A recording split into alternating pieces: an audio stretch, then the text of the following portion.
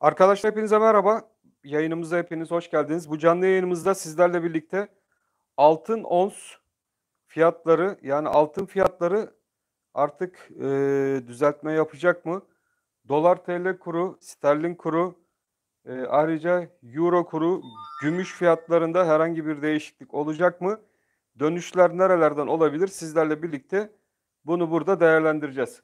Aslında bu videoyu yapmayacaktım fakat yorumların altına e, şu an çok sayıda yorum var. Bu yorumlara istinaden e, ben de sizlere nereden dönüşler olabileceğiyle, nereden düzeltmeler olabileceğiyle ilgili bilgi vermek istedim. O yüzden de bu canlı yayın açtım ki e, panik hareketlerde bulunmayın. Evet altın onsla başlayacağız. Dolarla devam edeceğiz. Dolar TL kurunu inceleyeceğiz. Euro değerlendirmesi yapacağız. Gümüş ons, altın. Kısaca takip ettiğimiz e, tüm para birimlerini burada sizlerle birlikte değerlendireceğiz. Bitcoin tarafına da gene bakarız. Bitcoin arkadaşlarımız da var takip eden. Hemen yayınımızı fazla uzatmayalım. Yayınımıza bir beğeni atarsak daha fazla arkadaşımıza bu canlı yayınımızın ulaştığını görürüz. Seste herhangi bir problem yok zannedersem. E, yayında da bir sıkıntı yok. Evet ons altında hemen başlayalım. Ons altın dediğimiz gibi sevgili dostlarım 2073 dolar seviyesi bizim için ons altında e, kar satışlarının gelebileceği bir alandı. Ve bugün itibariyle noktasal olarak bizler e, sizlerle birlikte ons altında tam 2073 dolar seviyesini gördük. Ve ons altında buradan bir kar satışı gerçekleşti. E, stokastik indikatörümüze baktığımız zaman henüz al sinyalinin devam ettiğini görüyoruz. Burada bir herhangi bir kırılım olmadığı için buradaki hareketin bir düzeltme niteliğinde kalabileceği de unutulmamalı. Onun için e, bizlerin en yakından takip etmemiz gereken destek seviyesi yani düzeltmenin olabileceği alan 2031. Evet şuradan geçen 2031 dolar seviyesine kadar olabilir. Sizlerin de sıkı bir şekilde bu düzeltme hareketini 2073 ve 2031 aralığına doğru takipte kalmanız gerekli. E, panik yapalım mı? Altının onsunda henüz 2031 dolar seviyesi altında kapanış olmadıkça panik yapmaya gerek yok. Eğer ki 2031 doların altına sarkmalar olur ise e, işte bizler o zaman hangi seviyeyi sizlerle birlikte takip edebiliriz? Onun altında da 2011 destek seviyesi mevcut. Ee, bugün itibariyle yani saat 10.30 itibariyle genel konusuna baktığımız zaman arkadaşlar e, kapanışlara göre yeni bir grafik çalışması yapacağız. Çünkü şu an itibariyle ons altın tarafında bizim ana hedef bölgemiz geldi ve buradan bir düzeltme seviyesinde sizlerle birlikte yaşamış olduk en yakın e, bizlerin destek noktası 2031 seviyesinde ve onun altında da 2011 seviyesinde iki tane desteğimiz var. 2014 desteğimiz eğer ki aşağıya yönlü e, kırılır ise sevgili dostlarım 2014 seviyesi aşağı yönlü kırılır ise o zaman düzeltmemiz gerçekten bizleri 1920 dolar seviyesine kadar aşağı yönlü götürebilir. E, bu aralık içerisinde 2073 dolar fırsatını düzeltme için kullanamamış olan arkadaşlar ise e, en yakın, en kuvvetli takip edilecek alan 2011 destek bölgesi olarak gözükmekte. Yani bu 2011 desteğinin olmadıkça ons altın tarafında e, panik yapmaya şimdilik henüz gerek yok ama 2073 dolar bir direnç bölgesi olacaktır. Zaten burada da sizlerle önceden beri takip ettiğimiz seviyemiz mevcuttu. Ve gerçekten de tam bu seviyemiz üzerine değiş ve bu değişten de bir düzeltme hareketi bizler sizlerle birlikte altın ons tarafında yaşamış olduk sevgili dostlarım. Evet hemen dolar tarafına geçelim. Kısa anlatacağım. Dolar Türk lirasına geçelim. Dolar Türk lirası. Evet. Dolar Türk lirasında neden eyvah demememiz gerekli? Şimdi bunu burada dolar kurundaki arkadaşlara anlatmaya çalışacağım. Bakın e, arkadaşlar dolar TL kurunda olan arkadaşlar Ee, şimdilik ilk etapta 14.50 kuvvetli bir direnç bölgesi söylemiştik. Hep birlikte de zaten takipte kalıyorduk. Fakat bu dolar TL kuru e, bu 14.50 seviyesinde asıl ana hedef bölgesi mi?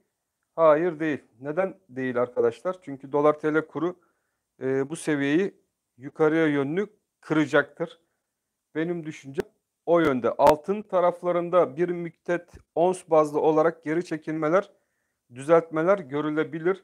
Fakat dolarda, e, euroda olsun, dolarda olsun, sterlinde olsun yukarı yönlü hareketler devam edecektir diye düşünmekteyim ve dolarda sizler ilk etapta 10.73 seviyesinden geçen e, bu kuvvetli direnç bölgesini mutlaka hedefinizde tutmalısınız e, ve dolar TL kuru da 14.73 seviyesine gidecektir. Bu hafta itibariyle sizinle birlikte bu 14.73 seviyesi e, hala takibimizde olacak. Bakalım burayı bir gözlemleyeceğiz arkadaşlar. 14.70'i 73'ü biz bu hafta itibariyle yani Cuma'ya kadar süremiz var. Bu 14.73 seviyesi bizler için yukarı yönlü kırılıp hareketin devamı gelebilecek mi diye. Ama şu an itibariyle 14.73 hedefine doğru e, bizler dolar tl kurunda gideceğiz. Ve bunun beklentisi de bende hala da mevcut. Bizler için en kritik e, destek bölgesi de artık 14-13 seviyesine bu destek ve e, stop bölgemizi çekmiş durumdayız. Biliyorsunuz buradaki bölgemiz e, ilk önce bizler için 12.70 alanından geçiyordu. Daha sonra bunu 13.70'e çıkardık ve bugün itibariyle de buradaki kuvvetli destek bölgemizi de 14-13 seviyesine çekmiş durumdayız. Fakat dolar tl kurunda e, bana birçok arkadaş yorumların altında belirtmişti. Hani devamlı sizi korkutmaya çalıştılar. E, buradan satış gelecek. E, dolar tl kurunda eyvah diyeceksiniz. 9 liralar 8 liralar gözükecek. Hatta bazıları iyice abarttı 5 liralar gözükecek şeklinde yorumlar yapıyorlardı. E, fakat şimdilik bu tür yorumlara aldırış etmeyin. Bu türden analiz yapanları, sizi korkutmaya çalışanları da e, bir an önce takipten çıkarın ki e, psikolojinizi bozmasınlar. Başkan 35'i de takibe devam diyorum. Her zaman doğru analizlerle karşınızdayız. 14.73 dolar TL kurunda hala hedef noktamız. Altın taraflarında ufak tefek düzeltmeler olacak. Çünkü ons bazlı olaraktan hedefe ulaşmış bir altın var. E, oradaki geri çekilmeler gram bazlı ürünlere yansıyabilir. Ama e, TL bacaklı dolar olsun, sterlin olsun, euro olsun yön yukarı. Dolarda da ilk hedef ilk hedefiniz 14.73 seviyesine doğru giden bir dolar TL kuru izleyeceksiniz sevgili dostlarım. Hemen gram altın tarafına geçelim. Gram altında bizler için önemli seviye. 950 TL'yi zaten gram altında vermiştik. Gram altında 950 seviyesinde e, onsun zirve yapmasıyla birlikte buradan bir düzeltme e, arayışı içerisinde gram altında. Gram altında nereye kadar bir düzeltme yaşanabilir? Hemen sizlerle birlikte bunu da değerlendirelim. 953 altında bizler için 938 destek bölgesi mevcut.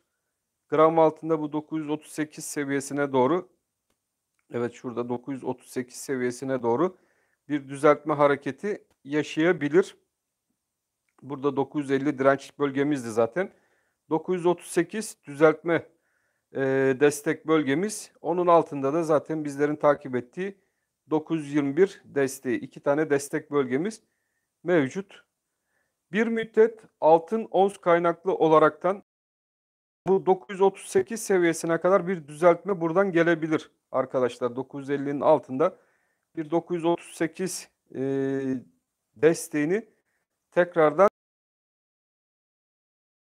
olarak eğer ki altın onstaki aşağı yönlü e, bu sefer de 900 civarına doğru giden bir gram altın izleyebiliriz. Fakat altın ons tarafındaki düzeltme sınırlı kalır. Buradan tekrardan 2073 denemesine gider isek E, dolar TL kuruyla birlikte e, dolar TL kurunda da verdiğimiz seviyeye doğru yukarı yönlü bir hareket olur ise yani burada günlük kapanışları takip edeceğiz gram altıncılar.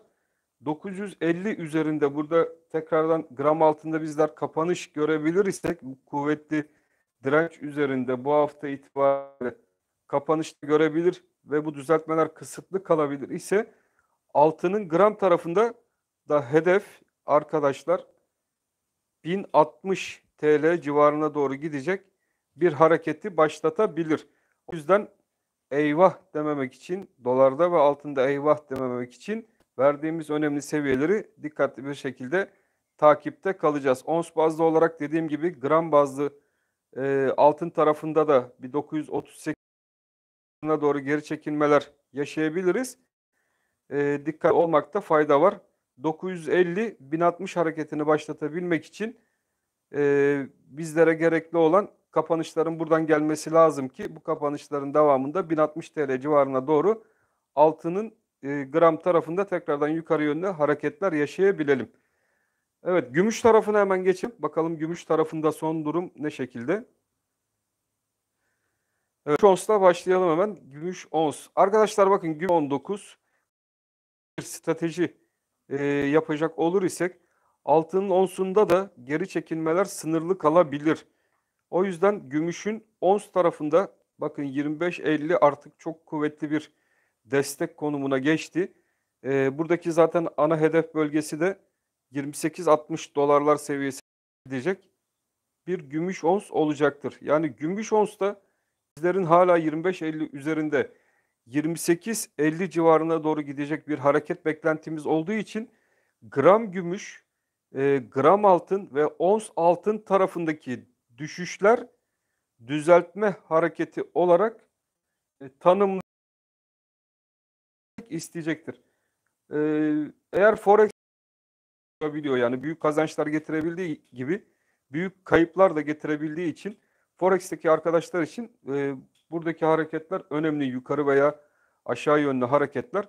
Fakat ben ons altın, ons gümüşte e, açık ve net olarak yatırım tavsiyesi kesinlikle değil. Hedefin 28,50 e, dolar seviyesine doğru devam edeceğini, ons altın tarafındaki düşüşlerin sınırlı kalacağını, verdiğim destek noktalarından ons altının da tekrardan toparlanacağı, gram altının da noktalarından tekrar toparlanıp asıl ana hedef bölgelerine doğru hareketleneceğini düşünmekteyim. Çünkü stokastik indikatörüne de baktığımız zaman hala al sinyali devam ediyor e, bu al sinyalinin devam etmesi de bizlere bu hareketin bir düzeltme hareketi olarak kısa bazlı düzeltme hareketi olarak tanımlanabileceğini göstermekte. Ons altında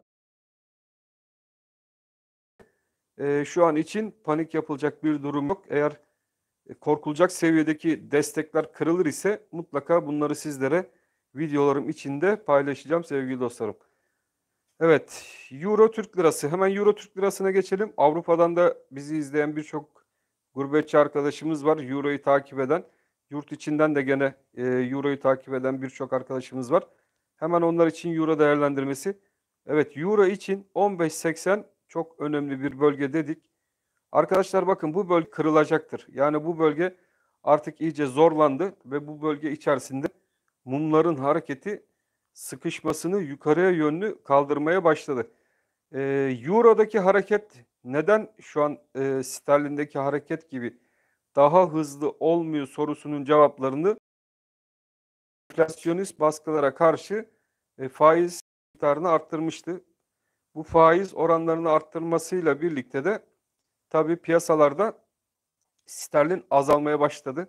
Ana vatanına dönen bir sterlin izledik. O yüzden sterlindeki yukarı yönlü hareketler Euro'da henüz e, Euro Avrupa Merkez Bankası faiz arttırımlarına başlamadığı için buradaki hareket daha kısıtlı oluyor. Fakat e, mutlaka buradaki harekette 15.80 civarını yukarıya yönlü kıracaktır ve Euro'daki e, hareketin 16.50 hedefine doğru yukarı yönlü sürükleyecektir. Burada zaten 14.70 artık e, bir daha e, bu ana hedefler gelmeden veya bir e, Türkiye Cumhuriyeti Merkez Bankası tarafından bir müdahale olmadığı sürece görülmesi şimdilik zor gibi gözükmekte.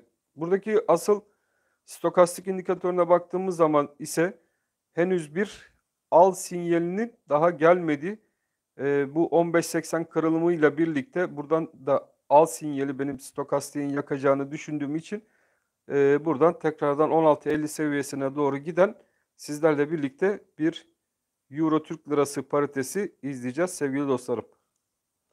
Evet hemen sterlin Türk Lirası'na bakalım. Sterlin Türk Lirası'ndaki hareketler e, Euro'ya göre daha güçlü.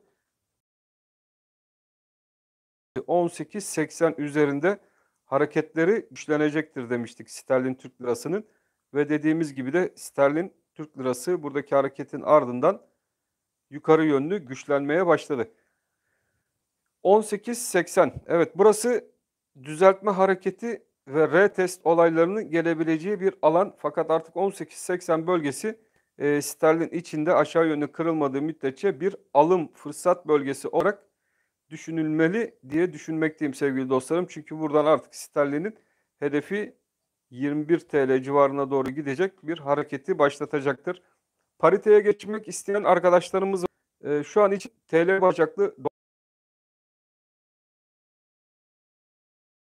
da dolar kalışlar daha sağlam gibi durmakta. Buradaki yükselişlerin potansiyelinin daha e, yukarı yönlü olduğu da gözlemlenmekte. O yüzden şu an için pariteye gerek yok arkadaşlar. Euro'da, sterlinde ve dolarda olan arkadaşlarımız. Evet, gram gümüş. Gram gümüşü değerlendirelim. Gram gümüşe bakmadık zannedersin. Gram gümüş arkadaşlarımız hangi seviyeleri kendilerine baz alacaklar? Bunu da hemen ons bazlı gümüş üzerinde anlatalım. Gram gümüş 11.70. Bakın arkadaşlar 11.70 çok kuvvetli bir destek e, konumunu almış durumda. Şuradaki 11.70 seviyesini dikkatli bir şekilde takip edin. E, ve bu 11.70'e doğru düzeltme hareketleri olsa da bu hareket asıl ana hedef bölgesini 12.62 seviyesine doğru yukarı yönlü taşıyacaktır. O yüzden ilk etap bizlerin ana hedef bölgesi gram gümüş takip eden arkadaşlar için 12.62 seviyesinden geçiyor. Bu 12.62 seviyesinden evet bir düzeltme hareketi gram gümüş tarafında da görüp yaşayabiliriz. Fakat buranın da asıl ana hedef bölgesi 13 lira 20 kuruş seviyesine doğru giden bir gram gümüş olacaktır. Sizler de gram gümüşü takip eden arkadaşlarımız e, verdiğim bu teknik seviyelere mutlaka riayet etsinler. Orada da yön hala da ana hedef bölgesine doğru gidecek hareketi başlatmış değil. İlerleyen günlerde buradaki harekette başlayacaktır.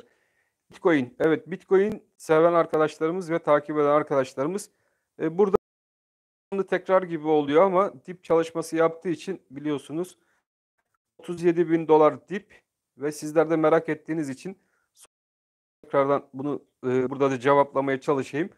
37 bin dolar seviyesi bir alım fırsatı aşağı yönlü kırılmadığı sürece bir alım fırsatı olarak değerlendirilebilir ve ilk hedef olarak da 43.280 dolardan geçen alan ve buradaki hareket şu şekilde mum hareketleri şeklinde izlenmeli diye düşünmekteyim. Eğer ki ola ki e, B senaryomuzda 37 bin dolar aşağı yönlü kırılır ise işte o zaman 35 bin 37 bin dolar aralığı daha net bir alım fırsatı yaratacaktır. Ama 37 bin dolar yukarılardan terste kalanlar için 37 bin dolar kırılmadığı sürece e, buradaki alan sıkı bir şekilde takip edilmeli ve eldeki ürünleri kaptırmamaya çalışılmalı diye düşünmekteyim. Evet sevgili dostlarım saatimiz de geç oldu. Yorumlarınızı tek tek okuyorum. Mutlaka yorumlarınızı yazın. Yazdığınız yorumlara göre anlık videolar yapıyorum ve sizlere cevap vermeye de çalışıyorum. Katıl butonundan kanalımıza katkılarını sunan arkadaşlarımıza hepsine tek tek e, teşekkür ediyorum. Parite ile ilgili sorularınızı okudum e, ve buradan da cevap vermeye çalıştım. E, katıl butonunda kanalımıza katkı söyleyen sunan arkadaşlarımızın da ayrıcalığı olması lazım çünkü sevgili dostlarım. Ayrıyetten bir para ödeyip kanalımıza üye oluyorlar. E, o yüzden onların sorularına da öncelik vermeye çalışıyorum. Ben hepinizi çok seviyorum. Kanalıma abone olmamış arkadaşlar da mutlaka kanalımıza abone olmaya bekliyorum. Hepiniz Allah'a emanet olun. Hoşçakalın sevgili dostlarım.